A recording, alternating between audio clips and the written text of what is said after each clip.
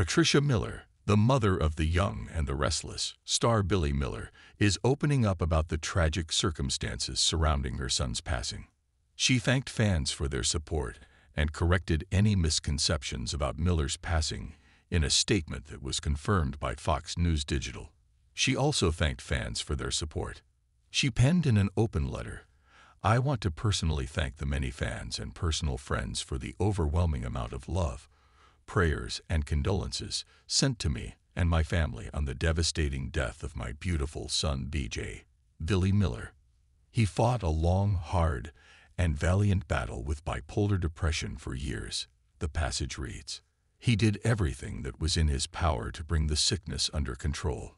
He was devoted to his loved ones, including his family, his friends, and his followers. But in the end, he was unable to overcome the effects of his illness, and he passed away.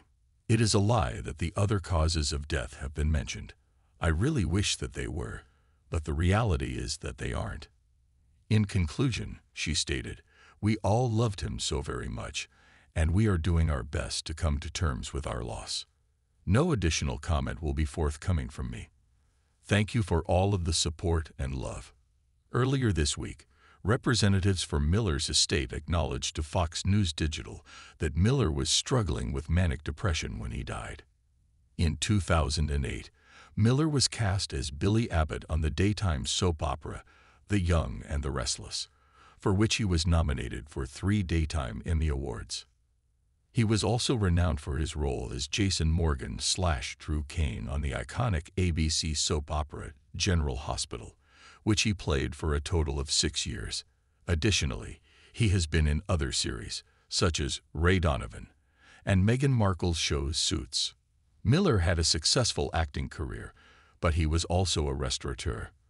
For a number of years, he was the proprietor of a number of clubs and restaurants in the Los Angeles area.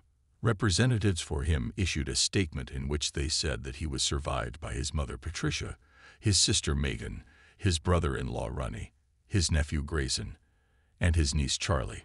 He also leaves behind a very large number of friends and colleagues who will miss his friendly personality, generous spirit, and genuine kindness.